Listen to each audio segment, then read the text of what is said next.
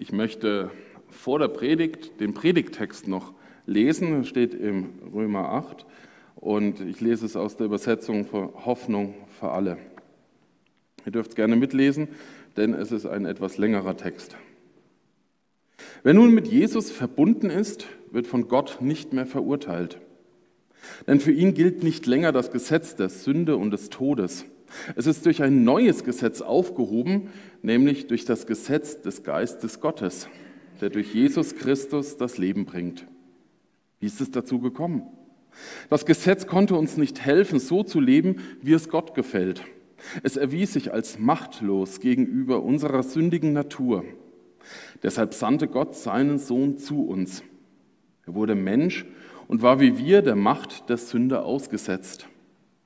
An unserer Stelle nahm er Gottes Urteil über die Sünde auf sich und entmachtete sie dadurch. So kann sich in unserem Leben der Wille Gottes erfüllen, wie er das Gesetz schon immer verlangt hat.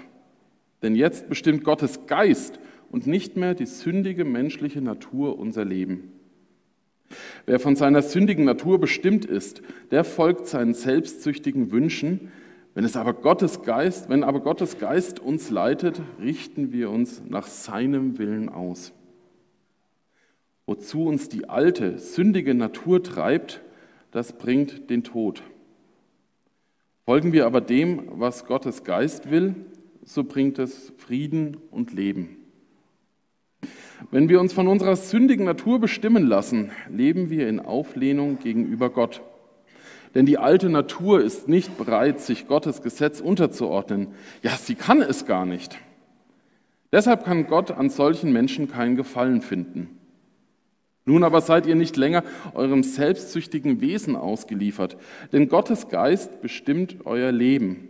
Schließlich wohnt er ja in euch. Seid euch darüber im Klaren, wer den Geist von, wer den Geist von Jesus Christus nicht hat, der gehört auch nicht zu ihm. Wenn Christus in euch lebt, dann ist zwar euer Körper wegen der Sünde dem Tod ausgeliefert, doch Gottes Geist schenkt euch ein neues Leben, weil Gott euch angenommen hat. Ist der Geist Gottes in euch, so wird Gott, der Jesus Christus von den Toten auferweckt hat, an euren vergänglichen Körper lebendig machen. Sein Geist wohnt ja in euch. Darum, liebe Brüder und Schwestern, sind wir nicht mehr unserer alten menschlichen Natur verpflichtet und müssen nicht länger ihren Wünschen und ihren Verlangen folgen. Denn wer ihr folgt, muss sterben. Wer ihr aber mit der Kraft des Geistes euer selbstsüchtiges Verhalten tötet, werdet ihr leben. Alle, die sich von Gottes Geist regieren lassen, sind Kinder Gottes. Denn der Geist Gottes, den ihr empfangen habt, führt euch nicht in eine neue Sklaverei, in der ihr wieder Angst haben müsst. Er hat euch vielmehr zu Gottes Söhnen und Töchtern gemacht. Jetzt können wir zu Gott kommen und zu ihm sagen, aber lieber Vater. Gottes Geist selbst gibt uns die innere Gewissheit, dass wir Gottes Kinder sind. Als seine Kinder aber sind wir, gemeinsam mit Christus, auch seine Erben. Und leiden wir jetzt mit Christus, werden wir einmal auch seine Herrlichkeit mit ihm teilen. Ja, wir sind in dieser Predigtreihe nah bei Gott. Am Anfang dieser Reihe haben wir uns Menschen angeschaut in der Bibel, wie sie Gott begegnen, wie sie ihm nahe kommen. Letzten Sonntag haben wir über die Sehnsucht gesprochen, Gott nahe zu kommen. Und heute möchte ich über diese Kluft sprechen. Wie diesem Mann auf dem Bild, das vielleicht auch geht, nah bei Gott, wenn Gott mal nicht so weit weg wäre. Da ist ein schöner Sonnenaufgang, aber genau das Bild mit der Sonne passt wunderbar. Wo ist Gott? Wenn Gott mal nicht so weit weg wäre, wenn wir mal nicht aus dem Paradies geflogen wären, da war das super. Da waren wir ganz nah bei Gott. Paradies. Das war ein Garten, den Gott für uns angelegt hat. Garten stand damals und heute für Luxus, für Versorgung, für Wasser, für Schatten, für Lebensumgebung nah bei Gott. Das war gut. Wie blöd waren wir, dass wir uns daraus äh, entfernt haben. Wie, was hat uns nur getrieben, dass wir gedacht haben, alleine versuchen zu wollen, uns von Gott abgewandt haben. Und seitdem ist da diese Entfernung zu Gott. Seitdem ist es irgendwie schwierig, nahe zu kommen, diesem Gott. Adam und Eva haben sich versteckt, eben nicht mehr nah bei Gott, weil sie sich schuldig gefühlt haben, weil sie sich geschämt haben für das, was sie getan haben und geschämt voreinander. Mir ist da beim Vorbereiten sofort eingefallen, dass Kinder das auch gern machen oder auch nicht gern, aber wenn sie was verbockt haben, ausgefressen haben, dann verstecken sie sich irgendwo und hoffen nicht gefunden zu werden wegen der Angst vor dem Urteil oder was. Könnt ihr euch an sowas erinnern? Äh, ja, ich, ich, auch. Ich äh, saß da mal unterm Küchentisch, weil ich wollte mein Essen nicht essen und Mutter war dann draußen, ich schnell unter dem Küchentisch. Ich dachte, die findet mich nie. Das ist natürlich Quatsch. Ähm, Genau, aber ich kann mich an das Gefühl sehr gut erinnern.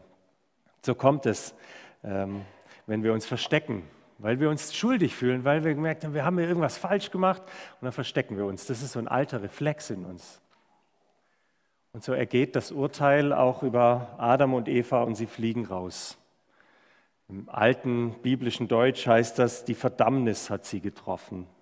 Aus dem lateinischen damnare heißt büßen lassen, verurteilen, verwerfen. Sie werden verurteilt, raus aus dem Paradies. Kurze Randnotiz. Gott hat das gemacht, in der Bibel steht das so drin, dass Adam und Eva nicht auch noch vom Baum des Lebens essen. Hatte er Angst, dass die jetzt noch mehr verbotene Bäume irgendwie oder Früchte zu sich nehmen? Nein, er wollte nicht, dass Adam und Eva in dem Zustand, in dem sie sich schämen, jetzt auch noch ewig leben müssen. Zweite Chance, nur so am Rande. Oh, da geht es auch jemand schlecht. Seitdem fühlen Adam und Eva und wir selbst uns fern von Gott. Das Trauma steckt in unserer DNA. Es geht ja nicht nur um eine Geschichte damals irgendwie, sondern es geht um unser Herz, es geht um meine Geschichte. Und dieses Trauma steckt tief in uns drin. Gott sucht uns und wir verstecken uns, weil wir versagt haben, uns unwürdig fühlen und das Urteil der Verdammnis meint uns zu treffen.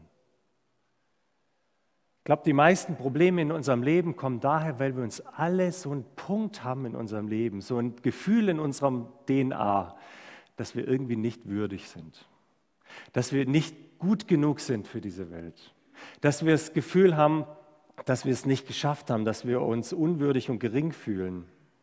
Na, überspielt man das vielleicht mit viel ähm, Selbstvertrauen und montags im Büro kommt mal daher, Sunny Boy betritt die Bühne und so. Äh, schön, wenn es klappt und es dir jemand glaubt. Aber warum sind wir eigentlich so schnell empfindlich? Warum sind wir so schnell beleidigt, wenn Menschen uns kritisieren? Warum, sind, warum, warum steckt das da tief in uns drin? Warum können wir nicht gut mit Kritik umgehen? Warum tragen wir so viel Masken voreinander? Weil wir unsicher sind wenn wir uns unwürdig fühlen und gering von uns denken. Weiß nicht, vielleicht sagst du, nö, oh, also auf mich trifft das nicht zu. Vielleicht bist du ja komplett zufrieden mit dir und sagst, ja, ich bin eigentlich, also ich finde mich gut. Dann feier das, genieß das, solange es noch so ist. ja, genau. Nein, wirklich, es gibt gute Phasen und dann sei Gott dankbar dafür. Ich will niemand was einreden. Aber warum fühlen sich so viele Menschen zutiefst irgendwo in Frage gestellt? Warum sind wir so verletzbar? Warum rutschen wir so schnell in den Minderwert, sagt die Psychologie? Warum ist da dieses innere Kind in uns, das diese Glaubenssätze von Kind auf irgendwo aufgeschnappt hat? Ich bin nicht gut genug, ich störe, ich, ich pack's hier nicht, ich habe nicht Liebe verdient, ich bin nicht gewollt, ich genüge nicht. Wie kommen wir da raus? Was steckt da in uns drin? Dann gibt es meterlange Literatur in den Bücherläden oder Instagram-Einträge, die uns versuchen, das Gegenteil zu behaupten. Irgendwie sei, wer du bist, glaub an dich, lebe deinen Traum, Chaka, du schaffst das, sei stolz auf dich. Diese ganzen Motivationssprüche, manche sind ja auch ganz witzig. Äh, ich war unlängst bei ein ähm, bisschen entfernteren Nachbarn und äh, musste da ins Bad und da hing alles voll mit diesen Sprüchen. So, als ich Genau, ich war länger im Bad. Ähm, die waren zum Teil auch echt nett, aber dann habe ich gedacht, was ist eigentlich mit uns los, dass wir so viel Motivationssprüche und Selbstanfeuerungssprüche brauchen, um wieder irgendwie aus diesem Bad rauszukommen, weil wir uns im Spiegel vielleicht gesehen haben. Und dann hauen wir uns die Sprüche um die Ohren, aber irgendwie schaffen die das gar nicht. Diese Sprüche schaffen es nicht in unser Herz. Wir glauben das nämlich gar nicht. Und dann hängen wir noch eins auf und noch eins auf. Ich glaube, die meisten Probleme kommen heute daher, weil wir uns im Minderwert fühlen, Verurteilung spüren und aus dem Paradies geflogen sind. Okay, worauf will ich hinaus? Was, ich, genau, ist keine Psychologievorlesung. Aber wenn wir nah bei Gott sein wollen, wenn wir nah zu Gott sein wollen und nah zu Menschen, dann müssen wir da raus. Dann müssen wir aus diesem Minderwert raus. Sonst hat das Ganze gar keine Chance. Dann können wir uns viel Mose angucken und Elia und, und die ganzen Jesaja, wie der Gott nahegekommen ist. Wenn wir Minderwert sind, können wir Gott nicht nahe kommen. Dann verstecken wir uns vor Menschen und vor Gott. Wie kommen wir da raus? Wie können wir geistlich wachsen, ohne uns zu verstecken vor Gott? Ein junger Mann hat mir unlängst erzählt, dass er im Glauben nicht vorankommt, weil er einen Punkt im Leben hat, wo er einfach nicht weiterkommt. Und immer wieder reinfällt und immer wieder rein und sagt, deswegen kann ich eigentlich nicht mehr glauben. Unser Minderwert hält uns ab, Gott nahe zu kommen. Und jetzt kommt der Heilige Geist ins Spiel. Jetzt kommt neues Leben, ist schließlich eine Predigt. Es gibt Hoffnung. Ähm, nah bei Gott ist die Aufgabe des Heiligen Geistes. Und wir haben einiges gehört in diesem Text in Römer 8, gerade was der Heilige Geist tut in unserem Leben. Sein Job ist es, uns nahe zu Gott zu bringen, unsere Nähe zu Gott uns zu zeigen, uns zu überzeugen davon. Vielleicht hattet ihr bei der Predigtextlesung schon Sorge, was wird das heute Morgen mit diesem Text? Und es wird ein bisschen anspruchsvoller. Ähm, das wird jetzt so ein kurzer Part, wo für Christen, die schon länger dabei sind. Wenn du sagst, oh, ich bin heute zum ersten Mal und so und ich weiß eh noch nicht, wie ich das mit diesem Gott haben will und so, dann nimm dir Zeit für die Fenster oder träum ein bisschen oder genau, also kurzer Zwischenblock, ein bisschen länger, aber okay. Römer 8. Wir gehen ins Himalaya der Bibel, in den Kernvers, in die Botschaft, in das Evangelium in Römer 8. Und wenn Römer 8 schon das, der Himalaya ist, oder überhaupt der Römerbrief, dann ist Römer 8 der Mount Everest. Und wenn Römer 8 schon der Mount Everest ist, dann ist Römer 8, 38 bis 39, ich werde es gleich lesen, dann ist das der letzte Gipfelanstieg. Dann ist das die Krönung, dann ist das das Gegengift gegen Minderwert. Ihr seht es schon an der Wand. Da schreibt Paulus, denn ich bin gewiss, dass weder Tod noch Leben, weder Engel noch Mächte noch Gewalten, weder Gegenwärtiges noch Zukünftiges. Weder Hohes noch Tiefes noch irgendeine andere Kreatur uns scheiden kann von der Liebe Gottes, die in Christus Jesus ist, unserem Herrn. Glaubst du das? Dass dich nichts trennen kann von der Liebe Gottes? Oder kommt da jetzt schon wieder ein bisschen, naja, außer das und das? Ich kenne solche Gefühle, solche Gedanken. Danach suchen wir doch alle, danach sucht jeder Mensch so eine Geborgenheit, so ein tiefes Wissen, so eine tiefe Annahme, so eine tiefe Liebe, dass nichts und niemand uns trennen kann von der Liebe Gottes. Nicht mal mein eigener Schrott. Glaube ich das wirklich? Es ist biblisch, es ist wahr, mhm. genau, aber dann kommt mein Minderwert und sagt, naja, Paulus weiß ja nicht, was ich weiß der weiß nicht, was bei mir los ist. Wir suchen alle, wenn wir das hätten, dann wären wir wieder im Paradies. Wenn wir das fühlen würden, wenn wir das tief wüssten. Und das suchen alle Menschen. Letztlich suchen das alle. Meistens suchen wir das bei Menschen, diese Geborgenheit. Da muss man nur das Radio anmachen oder Spotify oder die ganzen Lieder. Alle, also 90 Prozent der Lieder handeln davon, dass wir das wollen von Menschen. Pech gehabt, Menschen können das nicht. Es kommt zu kurz. Gut, dass manche Lieder, die meisten auf Englisch sind, dann hört man es nicht ständig. Aber letztlich diese tiefe Sehnsucht, wir wollen das erleben und dann hätten wir es halt gern von den Menschen, wenn wir mit Gott schon nicht klarkommen. Aber wir müssen zu Gott. Wie kommen wir dahin? Wie kommen wir zu Vers 38 und 39? Nun, Vers 1 bis 37. Kein Problem. Los geht's. Wir tauchen kurz ein. Ich fasse es zusammen. Paulus beschreibt hier zwei Lebenskonzepte in diesem Kapitel 8. Zwei gegenübergesetzte Lebenskonzepte. Ich, ich fasse es euch zusammen. Das ist auf der einen Seite das Gesetz der Sünde. Auf der anderen Seite das Gesetz des Geistes, die neue Natur. Da ist das Fleisch, wie Paulus das beschreibt, in diesem Wort, in älteren Übersetzungen wird das als Fleisch bezeichnet, als Sarx, griechisch, das meint aber nicht den Körper. Das hat man oft in der Kirchengeschichte falsch verstanden und ist so eine Leibfeindlichkeit in die Kirche gekommen. Das meint aber nicht den Körper an sich, unsere, unsere Hand, unser körperliches Leben, sondern äh, die Sache, die alte Natur, die gegen Gott ist. Die alte Natur. Dann gibt es auf der einen Seite die Sünde, auf der anderen Seite die Gerechtigkeit. Gibt es die Ich-Wünsche und Gottes Willen tun. Da gibt es Angst, auf der anderen Seite Frieden. Da gibt es Sklaverei, in der Knechtschaft zu sein und da gibt es die Kindschaft. Da gibt es Tod und da gibt es Leben. So, auf welcher Seite wärst du gern? Noch Fragen? genau, was meint hier Paulus? Geht es hier um Schwarz-Weiß? Geht es hier darum, irgendwie zu sagen, ja, die guten Christen, die schaffen das und die sind da rechts und so und die Menschen ohne Gott, die haben halt Schwarz-Weiß und alles ganz schlimm? Nee. Hier geht es auch nicht um Verhalten, dass man sagt, so jetzt streng dich halt an. Jetzt guck halt, dass du ein bisschen nach rechts kommst. So. Sei mal nicht so egoistisch und so, streng dich mal ein bisschen an. Lies mal mehr in der Bibel. Und jetzt, äh, es geht hier nicht ums Verhalten, es geht hier nicht ums Tun, sondern es geht um eine Natur. Es geht hier um unser Wesen. Das verstehen wir oft falsch und dann versuchen wir, dann strengen wir uns an und versuchen unser Verhalten anzupassen an diesen Text. Aber das schaffen wir nicht. Sage ich gleich noch. Da sind wir nämlich noch in Römer 7.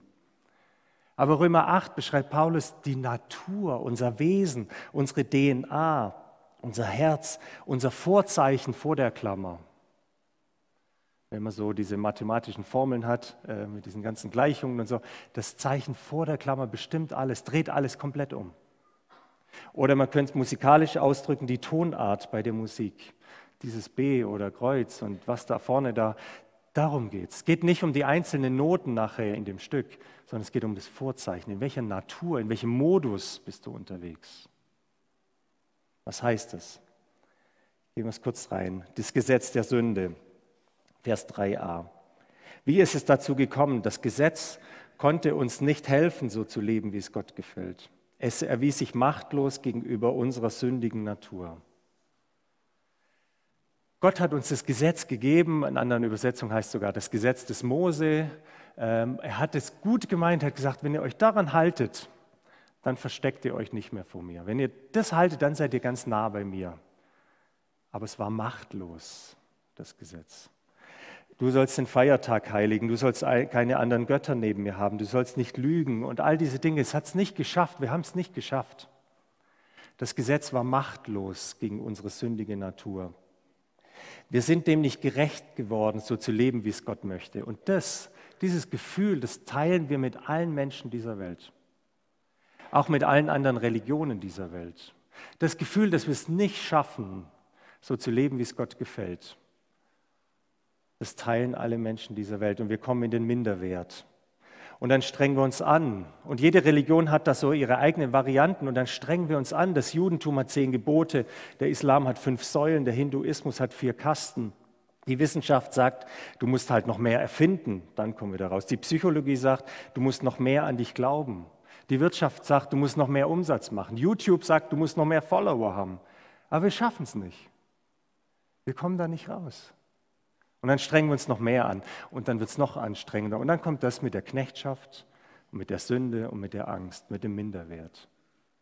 Unser Herz kommt da nicht raus. Und dann suchen wir Opfer. Dann suchen wir Verantwortliche. Dann opfern wir unsere Schöpfung, dann muss die halt dran glauben. Dann opfern wir irgendwelche Volksgruppen, die eh schon unterdrückt sind, dann beuten wir die dritte Welt aus. Vielleicht reicht das ja. Dann opfern wir unsere Zeit, dann opfern wir unsere Beziehungen, unsere Gesundheit, vielleicht sogar unsere Ehe, um das irgendwie zu schaffen, aber es gelingt nicht. Im Alten Testament kommen auch Opfer ins Spiel und, und man versucht durch diese Tieropfer einen Weg zu finden, vor Gott wiederzukommen, aber es reicht auch nicht. Römer 8. Deshalb sandte Gott seinen Sohn zu uns. Wir haben es nämlich nicht geschafft. Er wurde Mensch und war wie wir der Macht der Sünde ausgesetzt. An unserer Stelle nahm er Gottes Urteil über die Sünde auf sich und entmachtete sie dadurch. So kann sich in unserem Leben der Wille Gottes erfüllen, wie es das Gesetz schon immer verlangt hat. Denn jetzt bestimmt Gottes Geist und nicht mehr die sündige menschliche Natur unser Leben. Deshalb, dieses Opfer hat es geschafft. Dieses Opfer ändert das Vorzeichen vor der Klammer vom Minus zum Plus. Leben im Geist. Der große Gegenentwurf. Aus Sünde wird übrigens nicht Perfektion, sondern Gerechtigkeit. Da sage ich nachher noch was dazu. und wir können Gottes Willen tun. Es kommt Frieden in unser Leben. Wir sind Kinder Gottes und Leben bricht sich bei. Und das ist die Aufgabe des Heiligen Geistes, uns das zu zeigen, dass wir vom Minus ins Plus kommen. Das Vorzeichen der Klammer sich geändert hat, Römer 8. Noch einmal, wie kommen wir da jetzt hin? Wie kommen wir auf diesen Himalaya, den Mount Everest? In Römer 7 wird immer noch dieser Kampf beschrieben. Gehen wir da kurz rein. Römer 7. Ich mache also ständig dieselbe Erfahrung, schreibt Paulus. Das Gute will ich tun, aber ich tue unausweichlich das Böse. Ich stimme Gottes Gesetz aus tiefster Überzeugung und mit Freude zu. Dennoch handle ich nach einem anderen Gesetz, das in mir wohnt. Dieses Gesetz kämpft gegen das, was ich innerlich als richtig erkannt habe und macht mich zu seinem Gefangenen. Es ist das Gesetz der Sünde, das mein Handeln bestimmt. Kennt das jemand? Römer 7. Mhm. Wir wissen so viel und wir versuchen es zu tun, anstatt dass sich unsere Natur ändert, unser Wesen. In Römer 7 sind wir noch gefangen in der Sünde. In Römer 8 sind wir befreit von dem Gesetz der Sünde. Was passiert hier? Was passiert zwischen Römer 7 und Römer 8?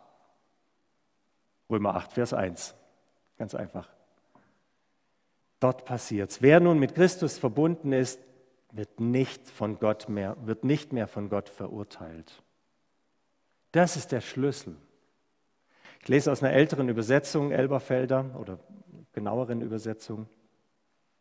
Also gibt es jetzt keine Verdammnis für die, die in Christus Jesus sind. Denn das Gesetz des Geistes, des Lebens in Jesus Christus hat dich frei gemacht von dem Gesetz der Sünde und des Todes. Lasst uns das verstehen, was dieser Vers bedeutet. Es gibt keine Verdammnis mehr für die, die in Christus Jesus sind. Es gibt keine Verurteilung mehr. Keine, gar keine. Nicht nur ein bisschen oder ein bisschen weniger Verurteilung. Keine Verdammnis mehr. Das griechische Wort katagrima meint gegen das Gesetz. Es gibt nichts mehr, was wir gegen das Gesetz tun, was uns verurteilt vom Gesetz her. Meistens leben wir als Christ ja so, wir bekehren uns irgendwann und dann lassen wir uns vielleicht taufen und wenden uns dem Glauben zu und dann kommt Vergebung der Schuld. Taufe, wunderbares Erlebnis. Und man kommt mit einer weißen Weste raus und so und dann strengt man sich an. Dann denkt man, okay, jetzt bin ich ein Christ und jetzt will ich gut leben. Und es klappt auch so ganz gut, kommt ganz gut voran, bis dann wieder so hier mal was und da mal was. Und dann merkt man wieder, okay, oh, ich muss wieder ganz schnell um Vergebung bitten irgendwie. Also wieder alles gut machen und so weiter. Und, aber jetzt will ich es wirklich probieren. Und dann strengt man sich an und, und merkt aber wieder, man fällt wieder in die gleichen Fallen und es passiert wieder Blödsinn und, und so. Man kommt wieder über diese, unter diese Verdammnis. Okay, auch schnell um Vergebung bitten, irgendwie so. Und so eiert man ständig her, wieder so unter der Verdammnis, unter dieser dunklen Wolke. Und ah, jetzt ist wieder Abendmahl gewesen, jetzt geht es mir wieder gut, jetzt ist wieder alles gut. Und so rutschen wir immer so hin und her, bleiben aber in dem Alten, bleiben unter dem Gesetz der Sünde. Was meine ich damit? Wir, wir, sollen ja unsere Schuld beichten vor Jesus. Wir sollen ja unsere Schuld vor Gott bringen. Äh, Johannes 1 kennen bestimmt viele von euch. Da heißt es, doch wenn wir unsere Sünden bekennen, erweist Gott sich als treu und gerecht. Er vergibt uns unsere Sünden und reinigt uns von allem Unrecht, das wir begangen haben. Also doch irgendwie das Urteil und irgendwie Sünde und irgendwie müssen wir da halt wieder zurück, oder? Nee, was steht hier wirklich? Lass uns mal genau hingucken. Hier heißt es nicht, ähm, wir bekennen unsere Sünde und dann ist Gott hoffentlich gnädig und hoffentlich barmherzig und vergibt uns nochmal. Oh Herr, also bitte vergib mir noch einmal und ich meine es jetzt auch wirklich ernst und in deiner großen Gnade bitte vergib mir. Hier steht nichts von Gnade. Hier steht nichts von dem, dass Gott noch einmal bitte barmherzig sein soll. Hier steht treu und gerecht. Was meint das? Wenn du Christ bist, wenn du das Kreuz angenommen hast und du sündigst, dann wäre es ungerecht von Gott, wenn er dir nicht vergibt. Was, was meint das? Weil Jesus unser Anwalt ist und er für uns betet. In Römer 8 heißt es auch, dass Christus zur rechten Seite Gottes sitzt und uns vertritt. Jesus steht neben diesem Gerichtsstuhl. Und wenn wir kommen mit unserer Schuld, dann spricht Jesus zu diesem Richter. Und dann sagt er nicht, ja, bitte himmlischer Richter, bitte vergib ihm noch einmal. Und ich, ja, er hat sich auch echt angestrengt. Und auch wenn das jetzt die Sünde Nummer 839 ist, in diesem Jahr, in dieser Kategorie, ähm, also einmal, bitte vergib ihm. Du bist doch gnädig, Herr, bitte vergib ihm. So betet Jesus nicht für uns. Wenn wir beten, Herr, vergib mir, dann sagt Jesus, ich habe schon für dich bezahlt. Und ich bin treu. Das gilt immer noch. Wenn Gott das nicht vergeben würde, dann müssten wir ja zweimal dafür bezahlen, weil Jesus hat schon dafür bezahlt. Gott vergibt uns nicht aus seiner Barmherzigkeit heraus, sondern weil Gott gerecht ist. Barmherzig war, dass Jesus Mensch geworden ist und für unsere Schuld gestorben ist. Aber jetzt, wenn wir Christen sind, wenn wir mit ihm leben, wenn er in uns ist, der Heilige Geist, dann bitten wir nicht um Gnade, sondern dann wissen wir, Gott ist gerecht. Das ist ein großer Unterschied. Die Bibel spricht nicht davon, dass wir Begnadigte sind, sondern dass wir gerechtfertigt sind. Lest mal den Römerbrief. Wir sind gerechtfertigt, weil es gerecht ist. Jesus hat schon für alle Schuld bezahlt, auch für die, die du morgen tun wirst. Es ist egal vor Gott. Es ist schon bezahlt.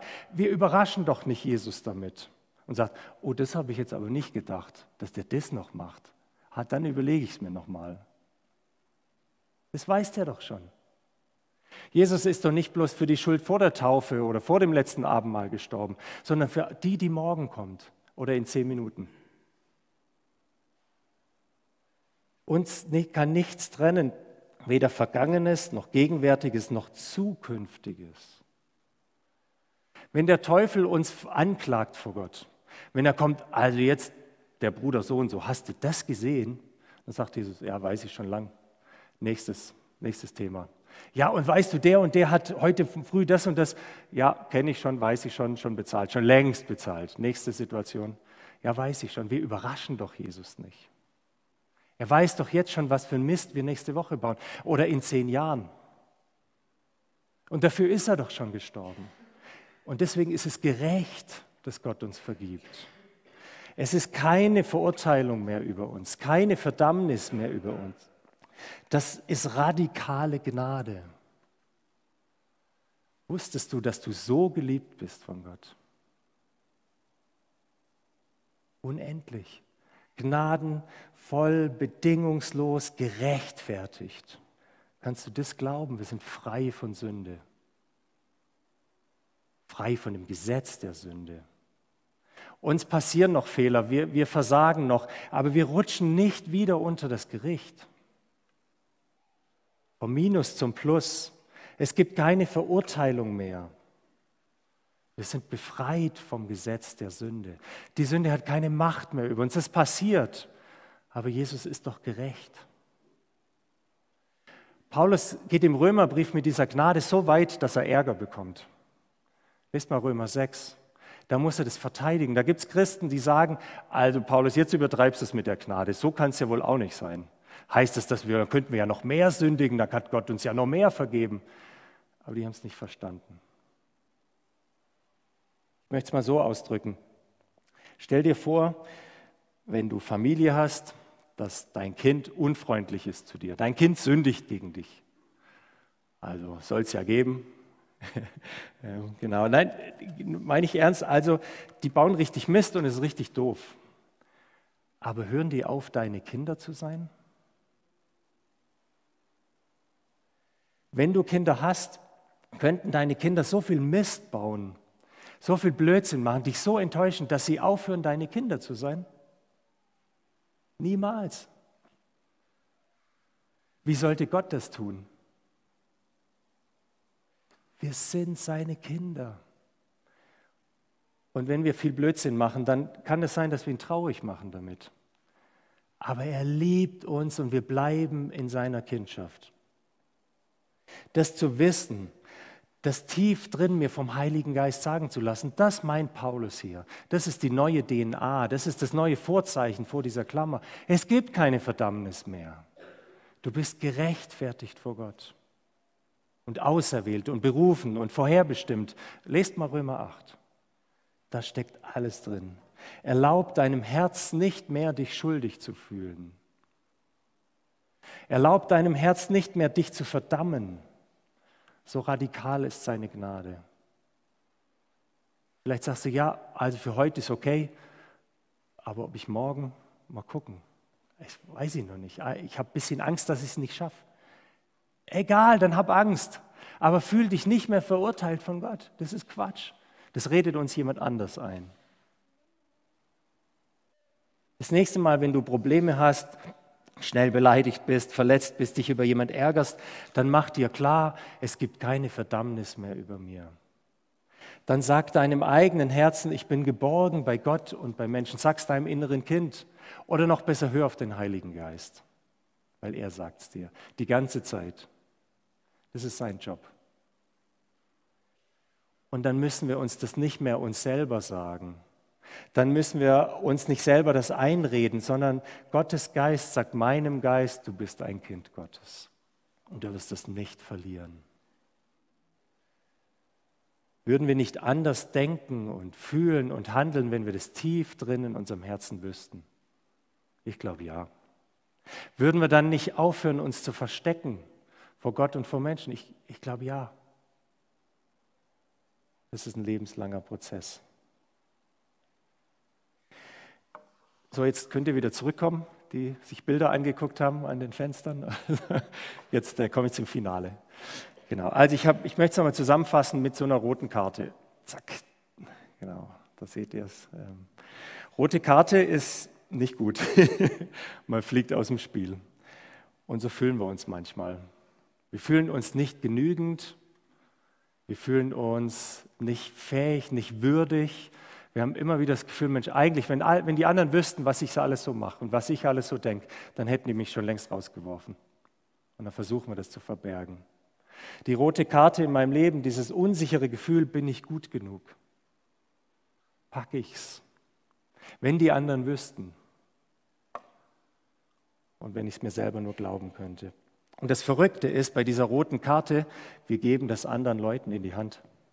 Magst du es mal nehmen? Ja, ja ist nichts Schlimmes, ja, ist nur Pappe. Wir, wir, wir geben das anderen Leuten, genau, die wollen schnell weitergeben. Wir geben das zum Beispiel unserem Chef oder unserem Partner und hoffen, dass die uns gut finden, dass die uns nicht die rote Karte zeigen. Wir machen uns so abhängig von anderen Dingen. Ob wir was erreichen, dann fühlen wir uns gut. Ob wir den und den zufriedenstellen, dann fühlen wir uns gut. Wir geben die rote Karte an andere. Wie verrückt. Ähm, an unsere Kinder, an Sportfreunde, vielleicht an den eigenen Vater, auch wenn er nicht mehr lebt. Und denken, okay, bitte sag mir, dass ich wertvoll bin. Bitte sag mir, dass ich angenommen bin, dass ich Anerkennung bekomme und gelobt werde. Bitte zeig mir nicht die rote Karte. Und dann gehen wir so in die Casting-Show des Lebens und versuchen, uns gut darzustellen und so durchzukommen und, und die Sachen ein bisschen zu verbergen, viel Schminke und dann wird das doch irgendwie funktionieren und hoffentlich kriege ich keine rote Karte. Genau, dann posten wir unser Leben auf Facebook oder Instagram oder Plakataktion in Neu-Ulm kann man auch sich präsentieren. Genau, und hofft, dass man keine rote Karte bekommt, dass es irgendwie gut hinkriegt. Und dann gibt es die Castingshow des Lebens. Ich bin heute Nacht wach geworden, dem Team, das habe ich schon gesagt, und habe, ähm, weiß ich muss jetzt den Sender nicht sagen, aber da kam so eine Castingshow, Take Me Out heißt das. Wer kennt das? Wer hat auch heute Nacht? Okay, ähm, also war völlig anständig, müsst jetzt nicht Angst um den Pastor haben, alles gut. Ähm, aber das sind 30 Singles, Singlefrauen, die da stehen und sich präsentieren. Und dann kommt so ein Mann, der wird so mit dem Aufzug, Singlemann, wird mit dem Aufzug runtergelassen und der präsentiert sich. Er läuft wie auf dem Catwalk oder dann ist es vielleicht ein Dogwalk oder so vor diesen Frauen da hin und her und präsentiert sich. Und so sagt so die ersten paar Sätze zu sich. Und dann dürfen die Frauen wählen, irgendwie, ob ja oder nein. Genau, ob sie ein Date wollen mit dem Mann oder nicht. Und dann gehen so die ersten roten Lichter an, man sieht das dann so und dann gehen die rote Karten gehen dann an, dann sind die quasi wie rot, rotes Licht, die sind dann raus. Uh, erste Runde von den 30, fünf Frauen schon mal weg. Dann kommen so kurze Clips, der, wo der Mann sich vorstellt, wo er lebt, was seine Hobbys sind, was ihm wichtig wäre, ob er Kinder will oder nicht und so. Und man sieht dann parallel eingeblendet diese, diese Frauenriege da und immer mehr rote Lichter. Ding, ding, ding, ding, ding, ding, ding, ding, ding, ding. Je nachdem, wie, was halt so kommt oder wie der aussieht oder wie viel Geld er hat. Und äh, das Gute ist, oder also ist ja letztlich alles abgesprochen, denke ich mal. Zumindest bleibt dann zum Schluss immer eine übrig und dann kriegt er ein Date und darf mit der mit der Limousine davonfahren. Aber so leben wir doch unser Leben. Gucken ständig auf diese Riege, wenn wir die roten Karten gegeben haben, ob die Lichter noch an sind oder nicht. Und wehe dem, die gehen aus oder es wird knapp. Wir haben doch ständig das Gefühl, dass diese Verdammnis über uns schwebt. So und so leben wir auch unsere Beziehung zu Gott. Leider. Weil da möchten wir doch raus und da dürfen wir raus. Ich glaube, die meisten Probleme und Schwierigkeiten in unserem Leben kommen, weil wir das Gefühl haben, dass Gott uns eine rote Karte gibt oder dass andere Menschen uns schon längst eine rote Karte gegeben haben. Und dann rennen wir vielleicht rum, verteilen selber rote Karten, damit die eigene nicht so auffällt. Aber was machen wir damit? Vielleicht nehmen wir es wieder selber, suchen uns viele Chakra-Sprüche und einen guten Coach und denken, ah, ich lasse mich nicht mehr bestimmen von anderen Menschen, ich nehme dies wieder selber in die Hand. Aber bist du gut zu dir selber? Sind wir nicht oft der strengste Richter über das eigene? Was machen wir nur mit dieser roten Karte, die über uns schwebt? Die muss weg. Und dann kommt Jesus. Und dann kommt dieses ungeahnt tiefe Evangelium. Vielleicht hast du Jesus auch schon mal die rote Karte gezeigt. Das ist okay, der hält das aus. Gott hat Jesus deine rote Karte gezeigt. Und Jesus hat sie genommen, ist aus dem Spiel ausgestiegen. Gott hat Jesus deine rote Karte, die du über deinem Leben hast, hat er ihm hingehalten und hat ihn aus dem Spiel genommen.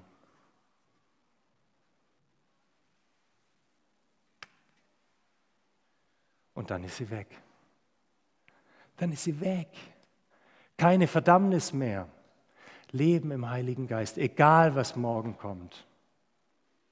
Und dann erinnere ich mich morgen wieder dran, na klar, aber es gibt keine rote Karte mehr. Du bist ein Kind Gottes.